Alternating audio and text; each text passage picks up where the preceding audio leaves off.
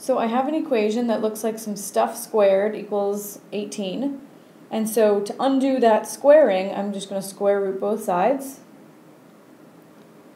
And on the left, my square and my square root cancel and I just get x plus 4.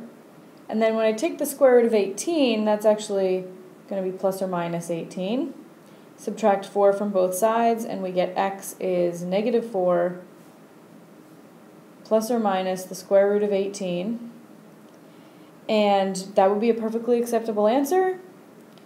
But you can also simplify what's under, under the radical, and we get x equals negative 4 plus or minus 3 root 2.